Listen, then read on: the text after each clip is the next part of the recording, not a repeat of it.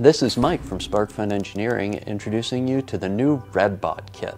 This is the RedBot mainboard. It is Arduino compatible. The Arduino IDE thinks it is an Arduino Uno for programming purposes. It comes pre-populated with headers with eight analog inputs and four digital I.O. pins, which can be used to, directly to control servo motors. It comes with an XBee header and a switch to switch between a software serial port and a hardware serial port. It is pre-configured to program via XBee, although you'll have to change the bootloader out to do that. It has a power switch and a motor disable switch so that you can program it on your desk without having it drive off on you. Along with the Redbot mainboard, we're releasing a couple of sensor boards. The first one is a line sensor that comes with the headers pre-attached and you can just point that down at the surface that you're driving on and use it to detect lines or table edges. We also have a small accelerometer board which is designed to mate directly to the header pins on the Redbot board. The library support for the Red bot includes bump detection with the accelerometer so that you can use the accelerometer to detect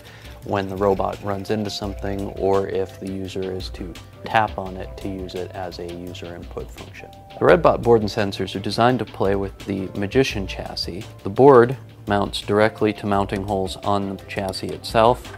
You plug the battery pack directly into it and away you go.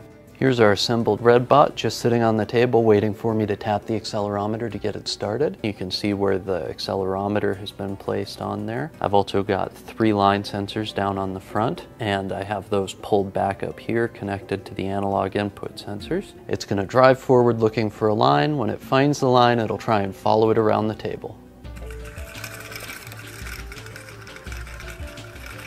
Does a pretty good job of tracking, but you'll see once in a while it misses it. This is just our example. If you think you can do better, by all means, go pick up a RedBot, try your hand at programming. So that's the new RedBot.